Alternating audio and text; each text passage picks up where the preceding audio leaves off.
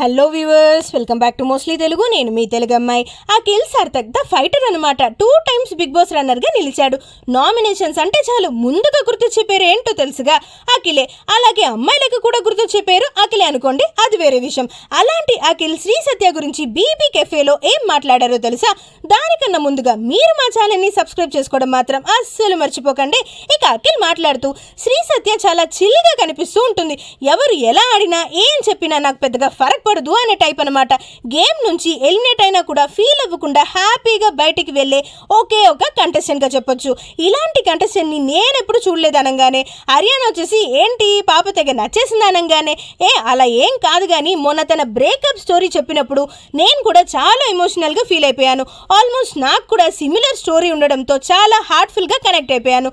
ఏంటి? మళ్ళీ మర్చిపోయారా? సీతారామంలో సీతారాం కోసం ఉత్తరాలు రాయడం మర్చిపోదు కదా?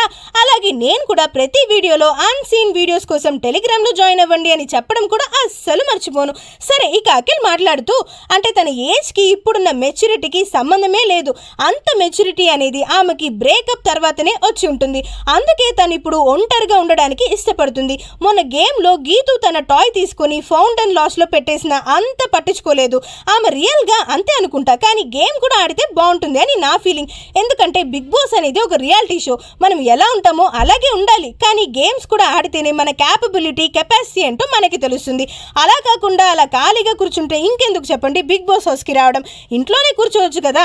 అదే నాకు సార్ చెప్పినట్లుగా అంటూ చెప్పేశాడనమాట మన ఫైటర్ అయిన అఖిల్ సార్థక్. మరి మీకు అఖిల్ సార్థక్లో నచ్చే ఒకే ఒక్క క్వాలిటీ ఏంటో కింద కమెంట్ బాక్స్లో కమెంట్ చేసేయండి.